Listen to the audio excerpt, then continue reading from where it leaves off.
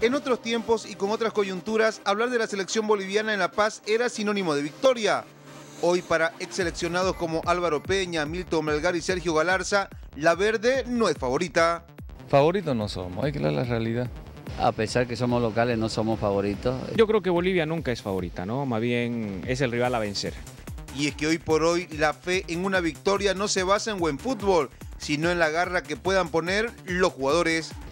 Todos los jugadores le ponen el, amor a la camiseta y, de repente las instrucciones del técnico no son, no son las, no digo las adecuadas, ¿no? pero no son las que debería tener una selección y ya transmitir en cuántos partidos que se está jugando, el amor propio y la garra está, eso la tiene el jugador. ¿Pero alcanza con eso Álvaro? No, no alcanza, pues no. Muchas ganas, eh, mucha entrega, mucho buen trabajo, a veces alcanza, a veces no. Eh, de que si nosotros le damos velocidad al, juego en La Paz, tenemos eh, esa ventaja. Eso sí, dejando de lado la razón que correctamente les indica que es difícil ganar, activan el corazón que cree en una victoria ante Colombia. Se puede porque es fútbol, pero eh, sin ser favorito, siempre nuestros futbolistas han demostrado ese amor propio y, y, han conseguido triunfos importantes.